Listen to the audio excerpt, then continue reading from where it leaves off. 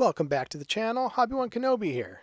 I am continuing work on the Kinetic GR1 Harrier. In this video I will show you how I use Artist Oil paints to apply a wash and use the same oil paints to dry brush details on the ejection seat. Then finally I will show you a neat trick for making those tricky ejection handles. You know, the ones with the small yellow and black stripes. Yeah, those. Oh, and please take a quick moment to like this video and subscribe to the channel. Okay, let's get started.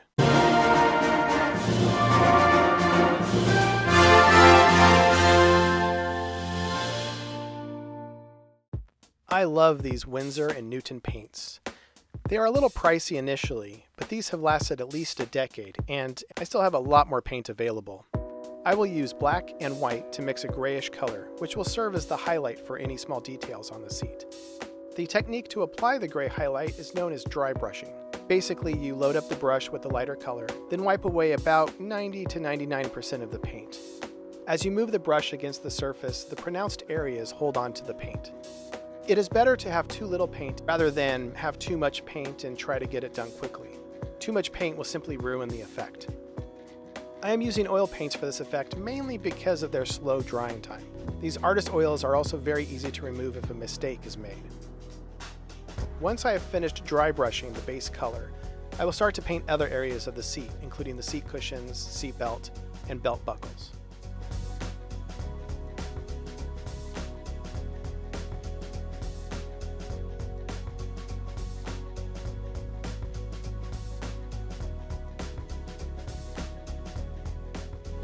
Next, I will apply a wash to the cockpit again using the same artist oils. Remember, these are not enamel model paints, sometimes known as oil-based, but rather artist oils. Do not get the two confused. This time I will put a bit of the pigment in a container and pour in quite a bit of the Turpenoid.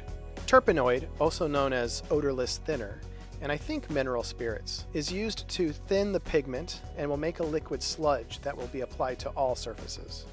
Once the wash dries, I will remove the excess material off of the flat surfaces. The excess is removed with Q-tips and a soft brush.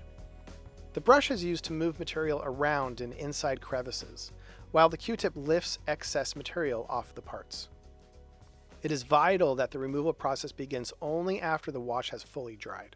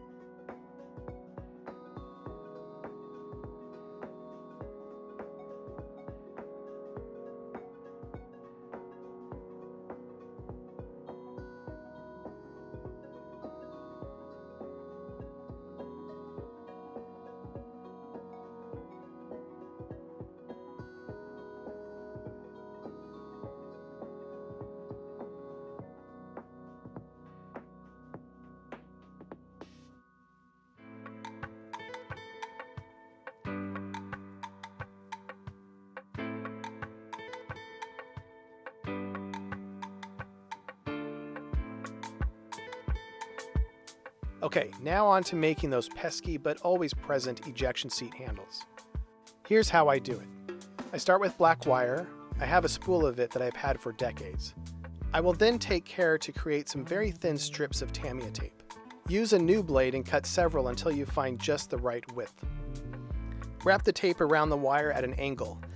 Then I suggest spraying with primer. Tamiya's gray surface primer works perfectly for this task. The primer serves two purposes. It creates a strong bond for the paint and adds a brighter surface for the yellow to lay on. Finally, using a spray can or airbrush, apply a yellow and let dry. Now we come to the fun part, removing the strips of tape. If you apply the primer and paint in thin layers, you will end up with great looking ejection handles. You can bend the wire in any loop formation you might find on aircraft. Cut the piece with clippers and superglue.